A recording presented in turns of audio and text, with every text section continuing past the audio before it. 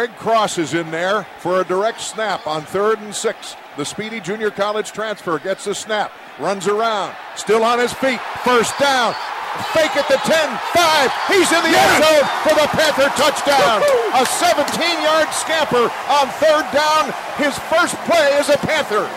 Fourth down and about a yard and a half. Shotgun. And there is the give.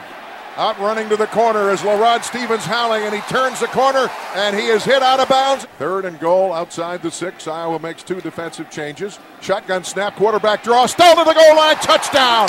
Billy Stull went straight up the gut on the quarterback draw, and the Panthers caught Iowa in an unsound defense. Stanzi under center. Short drop. Plants. Now he's chased out of the pocket. He's going to be hit and sacked. Greg Williams ran right up his back and showed blinding speed in the process. They fake the sprint draw. He sprints right. The left hander's going to be sacked back at the 46 yard line. Panthers that time were on a mission. And Scott McKillop got to him before he could unload the ball or turn it upfield.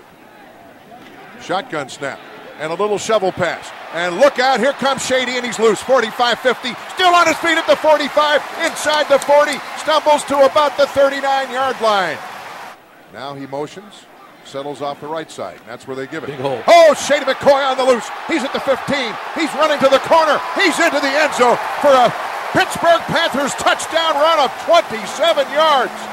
I mean, it was electric, dynamic. It had change of pace, change of direction, and he's in for the score.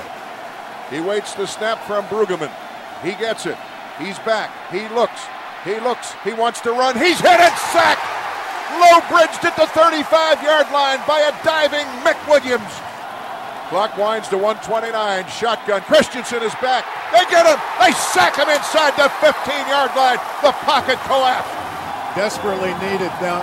Shot in the arm. The Panthers got it. Third and 11 at the 14. And now Christensen wants to run. He's in the open field, but he's tackled at the 20. The ball pops loose, and the Panthers fall on it. The Panthers have secured the victory against the Iowa Hawkeyes.